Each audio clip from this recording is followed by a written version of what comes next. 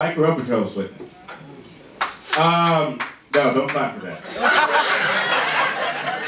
because like people like, oh, you you visit us Saturday mornings and all that stuff. Why do you do it? It's because it's like a cult. It's like a cult. Like it's pressure. They give you a lot of pressure to go out there and knock on doors. If you don't, they they, they call you out on it. They do. They call you out on it, and it's tough. Six years old, going out there and watch watchtowers. I missed out a lot of great Saturday morning cartoons. And I'm seeing all kinds of stuff I shouldn't even be seeing. I remember I go out the first door, knock on the door. Old man comes, old man comes to the door with like in his underwear, but it's like not good. Like the lining and shit was out, like it was like Loons.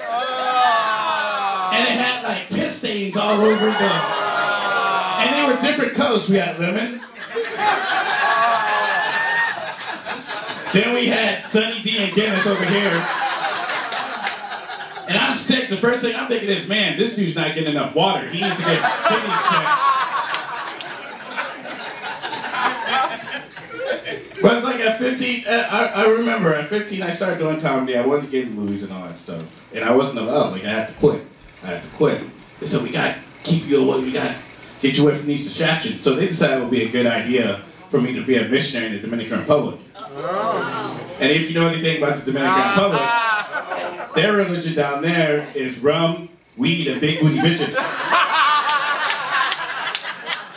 And I was easily converted.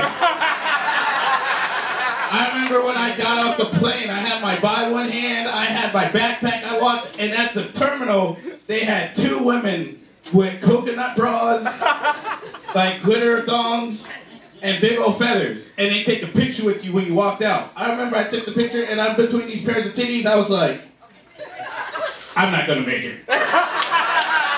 Yo, I'm Kenan Jerome Floyd. Thanks a lot, everybody. Go to the show.